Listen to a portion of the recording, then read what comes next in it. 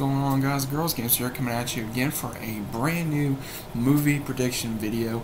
We are going to be talking about the horror doll herself, Annabelle. Now anyone that did not see any of the Conjurings or the movie Annabelle or anything like that, it's uh, about a possessed doll and very very powerful and I could be wrong on some of this, so don't be too skeptical, okay, guys? This is this is just me because I've seen all the Conjurings, I've seen Annabelle, and I I'm, I'm hoping that that uh that the, the, that this one goes right back into its history from the trailer I saw. It basically shows uh, the origin of the daughter that originally was called Annabelle. She was hit by a car, and either her father or someone they know create this doll, and a presence is in the house, and it starts showing uh, the daughter, and they're asking permission to go into the doll, and that's how all that begins. And then uh, somehow later on, a uh, convent of, uh, of a nun and some girls, they uh, live in this house where the doll is, and this one girl, uh, she's on crutches, and she starts hearing and sensing things, and she starts taking a interest of who this is, what this presence is. She starts telling the nun this, and she tells the uh, the father of that little girl that she uh, saw his daughter, and they explain to her that their daughter died and she was hit by a car. It shows that in the trailer, and it just shows a lot of uh, creepy shit. I ain't gonna lie, it's it's, it's really creepy. Uh, for anyone that that that uh, that really would get scary because of these movies. Now I've seen again, I've seen The Conjuring, I've seen the first, second Conjuring, I've seen Annabelle. It was not scary to me. Uh, even all all this stuff is based on true events. I do not uh, scare easy. I love watching horror movies. I like digesting into the uh, the legends and the myths and everything like that. So anyone that has not seen those movies, go check them out because they are very uh, entertaining as well as a good thriller and a, as well as a good horror movie. Anyone that does like horror movies or, or, or true uh, stories, anything that has to do with that, go check it out. I do recommend. Uh, but this one, it, I like them going into uh, how this all began. I think it's a good twist for the franchise to actually go into the depths of how this uh, legend and this myth began because a lot of people you know we read it online but it's like how bad was it like you know like because um the director of Conjuring, I can't remember his name for the life of me right now, so I do apologize for that.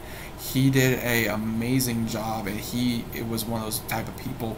He really wants to scare the hell out of you, is what he said in a, in a uh, video uh, that he did for The Conjuring, and then there's supposed to be another uh, story on the Nun in Conjuring 2.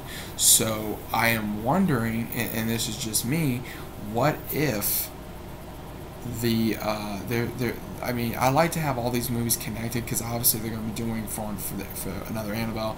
They're going to be doing one for the Nun. That was in the second movie.